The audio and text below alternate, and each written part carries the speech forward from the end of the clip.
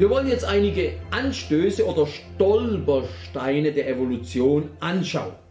Nochmal die Frage, Stolpersteine der Evolution, ist der evolutive Gedanke nicht intellektueller Selbstmord?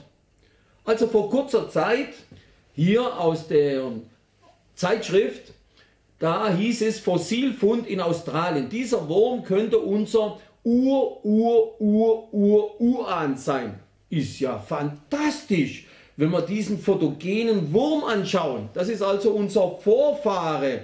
Mann, wie tief fällt eigentlich der Mensch noch? Das ist ja absolut lächerlich. So richtig hübsch sieht er nicht aus, aber wir haben viel mit ihm gemeinsam. Forscher haben den ältesten Organismus entdeckt, der aus zwei symmetrischen Hälften besteht und einen Darm besitzt. Ja, und dieser Wurm soll also 555 Millionen Jahre alt sein. Also nicht 500 54 Millionen Jahre, auch keine 556 Millionen Jahre. Also wir merken hier schon, hier geht es gar nicht um echte Millionen Jahre. Das sind einfach Dinge, die in diese Evolutionsspirale hineingeschoben werden. Das ist ein ganzes Schema, das aufgebaut wurde, das zusammenfantasiert wurde, um eben Gott zu leugnen, damit Gott nicht mehr gebraucht wird. Also wir sehen hier äh, diesen Urwurm aus dieser Spirale herausschauen. Ne, 555 Millionen Jahre, also vor dem Menschen und eben dreieinhalb Milliarden Jahre nach der sogenannten, nach diesem Urknall. Ja, und wir merken hier, der Mensch kommt ja erst ganz zum Schluss. Er steht ja hier ganz am Ende dieser Spirale.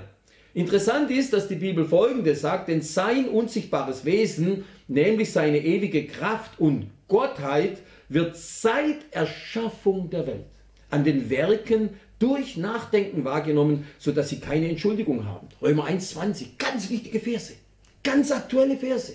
In dieser Auseinandersetzung mit der atheistischen Wissenschaft, nur mit den atheistischen Aspekten der Wissenschaft. Weil mit den, mit den anderen Dingen der Wissenschaft haben wir kein Problem, überhaupt gar nicht. Ich denke, das ist sogar von Gott gegeben, die ganze Forschung und Intelligenz. Ja. Und wir merken ja hier, nach der Evolutionsspirale kam ja der Mensch fast erst nach vier Milliarden Jahren. Und die Bibel sagt, von Anfang der Schöpfung der Welt konnte man das alles durch Nachdenken wahrnehmen. Es gab also von Anfang an Augen, menschliche Augen, menschliches Gehirn, das sich darüber Gedanken machen konnte. Denn der Mensch wurde ja am sechsten Tag der Schöpfungswoche geschaffen. Ganz am Anfang, an diesem Bereshit, ne, wo Gott den Menschen geschaffen hat. Ne, hier diese sechs Tage und Gott sah alles an, was er gemacht hatte. Und siehe, es war sehr gut. Es war wunderbar. Und vieles von dem können wir heute noch sehen. Es ist also gut, wenn wir da richtig drüber nachdenken, biblisch denken und unsere Logik schärfen. Und nicht umsonst sagt die Bibel, dass der Zorn Gottes ausgegossen wird, weil die Menschen Gott nicht ehren und ihm nicht Dank bringen. Gerade die, die es eigentlich besser wissen müssten, die tief forschen, die Wissenschaftler. Denn es wird Gottes Zorn offenbart vom Himmel her über alle Gottlosigkeit und Ungerechtigkeit der Menschen, die die Wahrheit durch Unrecht niederdrücken. Und dann fährt Römer 1 fort, Römer 1, 19 bis 20, weil das von Gott Erkennbare unter ihnen offenbar ist. Denn Gott hat es ihnen offenbart, denn das Unsichtbare von ihm, sowohl seine ewige Kraft als auch seine Göttlichkeit sind ganz klar seit der Schöpfung der Welt durch Betrachtung seiner Werke erkennbar damit sie ohne Entschuldigung seien. Also nochmal, es ist ganz klar erkennbar seit der Schöpfung der Welt, dass Gott alles erschaffen hat. Römer 1 geht weiter. Trotz allem, was sie von Gott wussten, ehrten sie ihn nicht als Gott und brachten ihm keinerlei Dank. Stattdessen verloren sich ihre Gedanken ins Nichts und in ihren uneinsichtigen Herzen wurde es finster. Wir sehen das in der atheistischen, in den atheistischen Aspekten der Wissenschaft ist wirklich intellektueller Selbstmord. Intellektueller Selbstmord. Und dieses Wort, dass sie ins Nichts verfallen sind, das heißt in Englisch auch foolish, lächerlich. Man ist hereingefallen, man lässt sich täuschen, man betrügt sich. Da steckt auch das Wort ein bisschen drin, äh, mit wicked, also böse und auch götzendienerisch. Darum geht's. Götzendienst, wenn man anstatt Gott andere Dinge anbetet. Auch in dieser sogenannten Pseudowissenschaft, im sogenannten Darwinismus. Ja, wie gesagt, unser erstes Beispiel, der sogenannte Magenbrüderfrosch. Links in dem grünen Kästchen der lateinische Namen. Und wir wollen schauen, was dieser Frosch macht. Magenbrüderfrosch, das lässt schon auf etwas äh, Interessantes schließen. Dieser Magenbrüderfrosch frisst seine Eier auf. 30 bis 35 Eier. Und dann verfällt er in, eine, in ein absolutes Fasten. Für sechs Wochen wird gefastet. Und diese Eier, die sind vorprogrammiert. Das ist ganz wichtig. Vorprogrammiert. Für was? Erstens sind es sehr große Eier, denn diese äh, Froschentwicklung, die geschieht jetzt im Magen des Muttertieres. Im Magen. Die müssen nichts mehr fressen. Das Ei hat genug Energie, da ist alles drin, was die Kaulquappe braucht, bis sie sich zum ganzen Fröschchen entwickelt hat. Und diese Eier sondern Chemikalien ab, also ich sage das ganz einfach, ganz einfach, ja, äh, sondern Chemikalien ab, um die Magensäure zu neutralisieren. Schon von Anfang an. Die Eier sondern das ab und diese Magenflüssigkeit, die ja ganz scharf ist und alles verdaut, kann dann diese Eier nicht verdauen und die Kaulquappen machen genau das Gleiche. Sie sondern Substanzen ab, um die Magensäuren zu neutralisieren. Das ist ganz wichtig. Vorprogrammiert. Schon geplant. Denn sonst wäre das einfach ein, ein Kannibalismus. Kannibalismus kennen wir aus dem Tierreich. Manchmal werden die Jungen aufgefressen und dann ist es eben vorbei mit den Jungen. Und wenn das dauernd gemacht wird, gibt es eben keine Nachkommen und die, die Art wird aussterben. Und zum Schluss, also nach diesen Wochen der Entwicklung, gibt es dann eine sogenannte Ausdehnung der Speiseröhre, eine Dilatation der Speiseröhre. Das ist ja jetzt der Geburtskanal. Und dann kommen 30 bis 35 Fröschchen aus dem Magen, aus dem Bauch des Muttertieres. Ist zwar nicht gerade so appetitlich, ne? je nachdem. Also ich finde es fantastisch, wunderbar, wie dann die Fröschchen rauskommen. Und das ist schon was Gewaltiges. Diese ganze Entwicklung, die hier auf den Magen dieses Frosches verlagert wurde, dieser Magenbrüderfrosch. Und wir wissen ja, dass Frösche die verschiedensten Verhaltens, äh, das verschiedenste Verhalten an den Tag legen. Hier transportiert ein Frosch sogar seine Kaulquappen auf dem Rücken. Es gibt eine indische Wabenkröte, wo die Jungen sogar auf dem Rücken wachsen, wie in Waben. Ja, das sehen wir hier, wie in Waben. Ganz interessant. Aber wir sehen bei unserem Magenbrüderfrosch, da müssen mindestens fünf Dinge zusammenkommen. Fünf Dinge und die müssen gemeinsam funktionieren. Wenn eines nicht funktioniert, klappt das Ganze nicht. Das kann sich nicht schrittweise entwickelt haben. Eier fressen, sechs Wochen fasten, man muss die Magensäfte neutralisieren, sowohl die Eier wie auch die Kaulquappen. Es sind große Eier, schon geplant, dass die Kaulquappen nichts fressen müssen während ihrer ganzen Entwicklung und die Dilatation der Speiseröhre. Ganz wichtig, ohne diese Erweiterung der Speiseröhre könnten die Fröschchen nicht ins Freie gelangen. Das geht einfach nicht. Und jetzt müssen wir natürlich unseren, äh, es ist nicht der Vater der Evolutionstheorie, ich nenne es übrigens Evolutionstheologie, denn es geht ja ganz klar gegen Gott. Äh, er war ja nicht der Erste, aber er hat es halt ziemlich äh, modernisiert und aktualisiert. Es ist ja eigentlich pures Heidentum, wenn man denkt, dass alles so von alleine entstanden ist. Das sind alte Gedanken, die gab es schon früher. Ja, was sagt unser Charles Darwin hier? Ließe sich das Vorhandensein eines zusammengesetzten Organs nachweisen, das nicht durch zahlreiche aufeinanderfolgende geringe Veränderungen entstehen konnte, so müsste meine Theorie unbedingt zusammenbrechen. Ja, wir haben hier den Magenbrüderfrosch. Ich meine, da muss man schon gewaltig verbiegen und drücken und machen, dass man das noch irgendwie mit Evolution erklären möchte. Gott wird ganz klar durch das Erschaffene erkannt, auch durch diesen wunderbaren Magenbrüder Frosch. Wir sehen hier eine Statue, eine Büste von Charles Darwin, die immer noch krampfhaft von den Wissenschaftlern, atheistischen Wissenschaftlern, hochgehalten wird. Sie hat schon viele Risse, diese Büste. Und ich habe da noch diesen Magenbrüderfrosch oben auf die Stirn von Charles Darwin gesetzt, um zu zeigen, dass dieser äh, ziemlich riskante Satz allein durch den Magenbrüderfrosch also zusammengebrochen ist, diese Theorie. Aber wir werden noch viele andere Beispiele zitieren. Übrigens, ich bin so ziemlich überzeugt, dass Charles Darwin heute, er war ein sehr intelligenter Mann, zum Teil ein genialer Mann mit einer wunderbaren Beobachtungsgabe. Ich muss stark annehmen, dass Charles Darwin heute kein Atheist mehr wäre. Er müsste nämlich seine ganze Lehre revidieren und wir werden das auch noch zeigen, warum. Ja, das große Problem ist ja auch mit diesen so langsam entstehenden Organen, äh, wie sich mit Hilfe kleiner Mutationen und Selektion entwickeln. Denn es geht ja über verschiedene Stadien der Entwicklung. Halbe Organe können nicht überleben.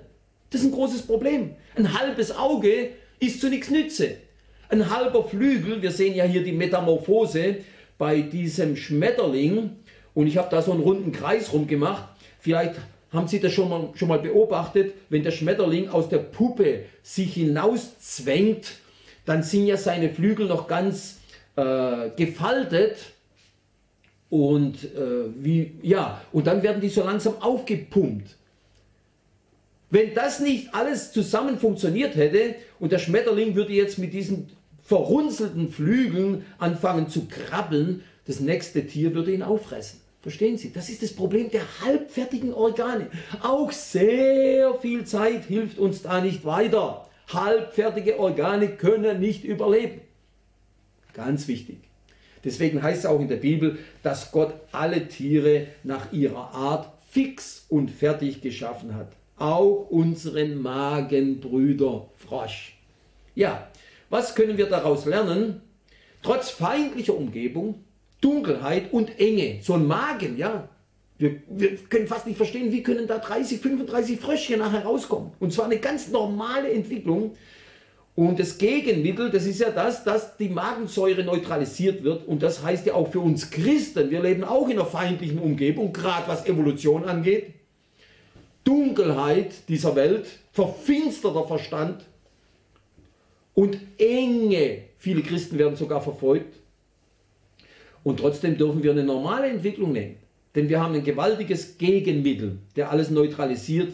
Das ist für uns das Gebet, das Vertrauen und das Kreuz Jesu, der für uns gestorben ist und der uns eben auch diese mächtigen Waffen gibt. Denn es heißt ja, der Heilige Geist führt uns in alle Wahrheit. Auch um diese nur atheistischen Aspekte der Wissenschaft zu bekämpfen. Ja, ihr seid das Licht der Welt.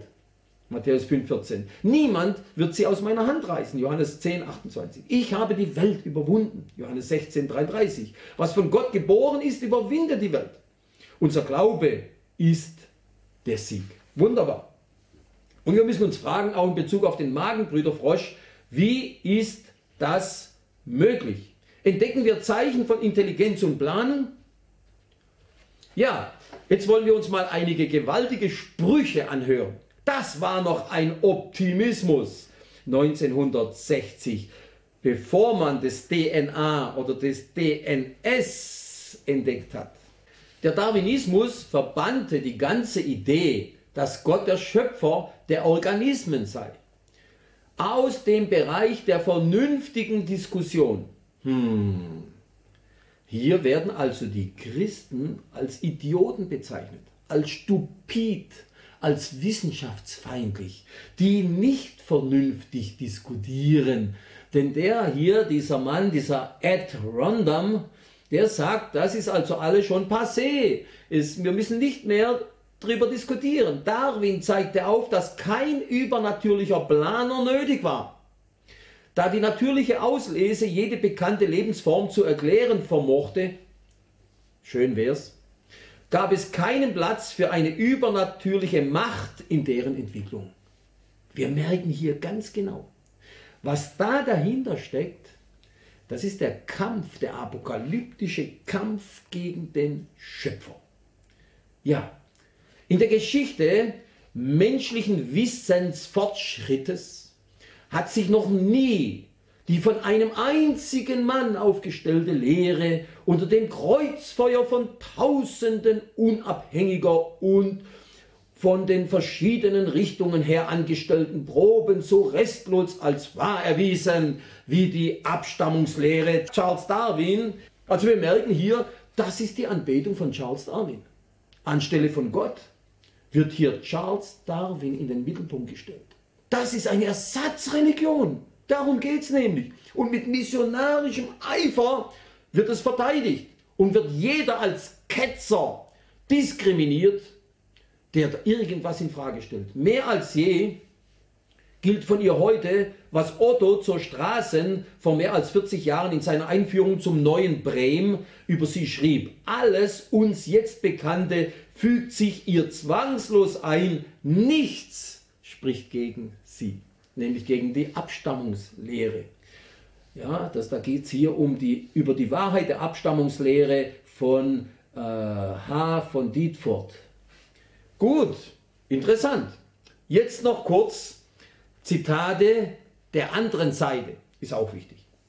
Die Tatsache, dass eine derart vage, ungenügend beweisbare und so weit von den in der strengen Wissenschaft üblicherweise angewandten Kriterien entfernte Theorie zu einem anerkannten Dogma werden konnte, lässt sich meiner Meinung nur auf soziologischer Grundlage erklären. Was heißt das? Dass viele Menschen viele Wissenschaftler an Evolution glauben wollen, weil es keine andere Alternative gibt als die Schöpfung. Darum geht's. Das ist die Erklärung. Da stecken andere äh, Gründe und Energien dahinter. Dass es manchen Biologen richtig erscheint zu behaupten, wir wüssten gerade über ein so ungeheures Phänomen wie die Entstehung der Organismen im Wesentlichen Bescheid, das mahnt uns daran, und jetzt kommt ein ganz wichtiger Satz, dass diese Überzeugung sich aus Gründen und Kräften nährt, die nicht dem Bereich der Naturwissenschaften angehören. Sehr interessant. Da steckt also was anderes dahinter. Da geht es um den Kampf gegen Gott. Das ist Gottlosigkeit. Nach derzeitigem Wissensstand kann das harmonische Zusammenspiel getrennter Organe nicht bloß als Summierung einfacher experimentell erzeugbarer Mutationsschritte angesehen werden, sondern muss grundsätzlich anderer Natur sein. Und das letzte der vier Zitate. Ich bin überzeugt, dass mit Mutation, wie wir sie jetzt kennen, und Selektion allein nicht entfernt die Vorgänge in der lebenden Natur erklärt werden können. Sie sind einfach zu kompliziert und verwickelt, als das denkbar wäre. Immerhin ein Satz von einem Nobelpreisträger Karl von Frisch. Ja, ich habe schon gesagt, Charles Darwin war ja bei weitem nicht der Erste, der irgendwie von Evolution geredet hat. Wir lesen schon in Jeremia 2,27 immerhin 2500 Jahre vor Charles Darwin die zum Holz sagen, du bist mein Vater. Und zum Stein, du hast mich gezeugt. Denn sie kehren mir den Rücken zu und nicht das Angesicht. Also sie sagen zur toten Materie, vertrocknetes Holz und zum Stein aus dem Reich der Mineralien. Tote Materie. Du bist mein Vater. Du hast mich gezeugt. Natürlich ging es damals um Götzenfiguren, aber es ist doch genau das gleiche heute, wenn man sagt, dass vielleicht in dieser Ursuppe durch einen Blitzeinschlag die ersten primitiven Formen oder Teile des Lebens entstanden sind. Genau das Gleiche. Was heißt das? Sie kehren Gott den Rücken zu und nicht das Angesicht. Unpersönliche Kräfte, viele Zufälle, viele kleine Mutationen, viel Zeit, ohne Planung und ohne Intelligenz und wir haben uns gewaltig in eine Sackgasse manövriert. Wenn man sagt, ohne Planung, das ist schon lustig bei allem, was wir heute beobachten. Wie gesagt, ich habe das schon erwähnt, halbe Organe können nicht überleben. Ja, aber dann sagt man eben, und das ist die Arroganz. Und das zeigt eben, dass es um Glauben geht. Auch bei den Darwinisten, auch bei den Wissenschaftlern. Es gibt eben Prozesse, die wir heute noch nicht verstehen. Aber in Millionen oder Milliarden Jahren ist praktisch alles möglich. Die Selbstorganisation und Höherentwicklung der Natur, natürlich ohne Gott, ist unleugbar. Also man sagt einfach, ja, ja, ja, ja, manches kann man vielleicht heute nicht erklären, vielleicht kommt dann morgen die Erklärung. Und wir merken, sie lassen einfach nicht los. Es gibt sogar Wissenschaftler, die genau das sagen oder denken. Wir wissen, dass das Leben nicht zufällig entstehen kann. Die Wahrscheinlichkeit ist bei Null. Da es aber keinen Gott gibt oder höhere Intelligenz gibt, also da es aber keinen Gott oder höhere Intelligenz gibt, muss es irgendwie entstanden sein. Das ist ja eine super Logik. Herzlichen Glückwunsch. Das heißt also, äh, das Leben könnte eigentlich nicht zufällig entstehen. Das sieht man heute, weil man sehr tief in die Natur hineinschaut, sogar in die Zellkerne. Man hat da interessante Sachen entdeckt. Wir werden da noch drauf zurückkommen. Und dann sagen die sich, ja, aber weil es ja Gott nicht gibt, muss das Leben doch irgendwie entstanden sein. Das ist ja super, aber eben das ist nicht Wissenschaft, das ist Glaube. Und die Alternativen, das sieht es nicht besonders vielfältig aus. Da geht es eben nur um den gefallenen Adam oder entwickelter Affe. Ist jetzt natürlich ziemlich äh, populär ausgedrückt. Es geht ja nicht direkt um den Affen, aber um einen gemeinsamen Vorfahren. Das alles zufällig und ohne Gott entstanden ist. Und da müssen wir jetzt irgendwo unser, unser Kreuzchen hinmachen. Ja? Und wir haben nur diese zwei Möglichkeiten. Und wenn ich in die Welt schaue und betrachte den Menschen und was der Mensch alles macht, vor allem das Böse, dann muss ich sagen, der Mensch zeigt viel mehr Charakteristikas eines gefallenen Adams als eines entwickelten Affen. Das ist also klar, das müsste eigentlich jeder sehen. Sogar sagt die Bibel, dass am Ende der Zeit Spötter kommen werden. Spötter. Und das haben wir heute indem ihr zuerst dieses wisst, dass in den letzten Tagen Spötter mit Spötterei kommen werden, die nach ihren eigenen Lüsten wandeln und sagen, es wird alles so wie vom Anfang der Schöpfung an bleiben. Denn nach ihrem eigenen Willen ist ihnen dies verborgen, dass von alters her Himmel waren und eine Erde entstehend aus Wasser und im Wasser durch das Wort Gottes durch die die damalige Welt vom Wasser überschwemmt unterging. Hier spricht die Bibel von der Sintflut, die sehr viel erklärt, was wir heute äh, in der Welt sehen, auch Fossilien und Sedimentschichten und viele wichtige Dinge. Und wir merken, wie dieser, wie dieser Kampf gegen Gott eben vor allem seit den letzten 150 Jahren gewaltig zugenommen hat. Auch viele Philosophen, Autoren, Reporter haben gewaltig gegen Gott losgeschlagen. Sam Harris, das Ende des Glaubens. Daniel Dennett, den Bann brechen. Nämlich den Bann dass man an Gott glaubt. Richard Dawkins, eigentlich der bekannteste, der Gotteswahn, der eigentlich gesagt hat, alle sind bescheuert, die irgendwie an Gott glauben. Das war ziemlich äh, arrogant von ihm. Das hat sogar vielen atheistischen Wissenschaftlern nicht gefallen, dass er so an die Öffentlichkeit gekommen ist. Und Christopher Hitchens, der Herr ist kein Hirte. Psalm 23, der Herr ist mein Hirte. Also wenn da einer das so sagt, der Herr ist kein Hirte, das ist schon absolut gotteslästerlich. Es gibt im YouTube ein Interview zwischen diesem Ben Stein, Ben Stein, ein Jude, hier mit diesem Megafon rechts, und er hat den Richard Dawkins hat er interviewt und, hat und da wird auch gezeigt, wie Wissenschaftler, die irgendwie an Schöpfung glauben, diskriminiert werden, sogar oft entlassen werden in unserer heutigen Zeit, obwohl sie sonst absolute Kapazitäten sind. Aber wer da irgendwie Evolution antastet und Zweifel hat, der darf dann eben nicht mehr unterrichten oder forschen.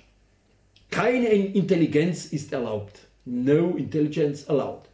Und es ist interessant, dass in diesem Interview vor diesem Ben Stein, vor diesem Juden, dieser Richard Dawkins sprichwörtlich äh, vertrocknet. Vertrocknet. Er macht sich lächerlich in seinen Aussagen, in seinen Erklärungen im Betreff des Entstehung, äh, der Entstehung des Lebens, der Entwicklung des Lebens. Ist interessant, wie er vor Ben Stein den Bankrott erklärt. Das lohnt sich, das anzuschauen. Ja, hier zum Beispiel ein Bild vom Zweiten Weltkrieg, aus der Zeit des Zweiten Weltkriegs. Da steht auf diesem Plakat, ich habe es ein bisschen retuschiert, damit man es besser lesen kann, da geht es ja um den 2. Oktober 1941. Der Russe muss sterben, damit wir leben. Die stramme sechste Kompanie. Im Ganzen sind ja 27 Millionen russische Menschen bei diesem Krieg gestorben. 27 Millionen Kriegsopfer in Russland. Davon waren 13 Millionen Soldaten und 14 Millionen Zivilbevölkerung. 14 Millionen! Wo ganze Dörfer niedergemäht wurden, um Lebensraum für die Arier zu schaffen. Schreckliche Verbrechen sind da geschehen. Ja, und das ist eben Evolutionstheorie auf dem sozialen Gebiet, was viele nicht hören wollen. Nämlich, der Stärkere besiegt, besiegt den Schwächeren, obwohl sich hier natürlich dann auch Nazi-Deutschland gewaltig getäuscht hat. Denn es kam gar nicht gut. Äh, und, aber wir dürfen auch in die Welt des Kommunismus schauen, der ja auch von vielen, auch von der Linken angebetet wird. Diese Leute wie Marx, Lenin, Stalin, Mao, man nimmt an, dass von 1900 bis 1999 weltweit 148 Millionen Menschen für den Kommunismus geopfert wurden. Das ist auch wichtig. Also Erster Weltkrieg waren es ja 15 Millionen Opfer, Zweiter Weltkrieg rund 55 Millionen Opfer und der Kommunismus weltweit 148 Millionen. Auch das ist wichtig. Alles im Namen um einen neuen Menschen zu erschaffen. Kommunismus ist ja eine messianische politische Ideologie und das will ja der Mensch, er will sich selber befreien durch politische Ideologien, durch rein menschliche Weisheit in den Philosophien, durch die atheistischen Aspekte der Wissenschaften, wo Gott geleugnet wird, und durch die verschiedensten Religionen. Für mich ist das Christentum keine Religion, denn es geht ja um eine Person, die durch das Opfer und durch die Auferstehung äh, sich da klar als Gott erwiesen hat. Und das ist ja alles ziemlich gut dokumentiert, ganz im Gegensatz zu Religion, die oft ja nur ein sehr schwaches Plagiat vom Juden und Christentum sind. Ja, natürlich, und wenn man dann auch sagt, wo es irgendwie vielleicht Wasser hat und etwas Erdähnliches, da kann dann automatisch Leben entstehen. Das ist die Nebenwirkung der Evolutionstheorie, dass es ja außerirdisches Leben geben kann. Und viele äh, wollen das ja glauben, denken wir an Erich van Däniken, der hat ja im ganzen 70 Millionen Bücher verkauft. Die Götter waren Astronauten. Er bringt ja auch Auslegungen über Hesekiel 1, sagt, das war nicht Gottes Herrlichkeit, sondern das war ein Raumschiff das da gelandet ist, oder auch auf dem Sinai, wo Gott dann das Gesetz gegeben hat, die Gesetztafel, wo er Mose begegnet ist, da geht es dann um Außerirdische. Und wir wissen, dass Leben eben nicht von alleine entsteht. Leben kann nur von Leben kommen. Und das ist wichtig und übrigens sagt ja auch die Bibel, denn so spricht der Herr, der die Himmel geschaffen hat, der Gott, der die Erde bereitet hat und hat sie gemacht und zugerichtet. Und er hat sie nicht gemacht, damit sie leer sein soll, sondern er hat sie bereitet, damit man darauf wohnen soll. Denn ich bin der Herr und sonst ist keiner mehr. Also wenn ein Christ irgendwie an außerirdisches Leben glaubt, dann will er daran glauben. Wie all die Leute, die diese 70 Millionen Bücher von Erich van Däniken gekauft haben. Da ist eine gewisse Bereitschaft da. Man will daran glauben. Ja? Aber ein bibeltreuer Christ hat kein Argument, um das irgendwie zu verteidigen. Und wenn es nochmal so viele Galaxien da oben gibt und Planeten und erdähnliche Planeten, Leben kann nur durch Leben entstehen und zwar durch einen Schöpfer. Und das ist eben der große apokalyptische Kampf gegen den Schöpfer. Und wir müssen einfach sagen, auch als Christen, die wir diese mächtigen Waffen Gottes äh, haben dürfen, durch die Informationen in der Bibel, durch die Erleuchtung des Heiligen Geistes, müssen wir einfach sagen, der evolutive Gedanke ist intellektueller Selbstmord. Das war jetzt unser erster Teil von dieser Serie, der apokalyptische Kampf gegen den Schöpfer. Und ich hoffe, dass uns das etwas weitergeholfen hat, uns etwas Munition gibt, was Argumente angeht und auch uns etwas ermutigt für unser persönliches Zeugnis und dass wir auch wirklich schon den ersten Bibeln, den ersten Seiten der Bibel vertrauen, nämlich dem Schöpfungsbericht. Und wir sind heute eine bevorzugte Generation, denn wir haben heute Entdeckungen und Argumente, die andere Generationen so nicht gehabt haben.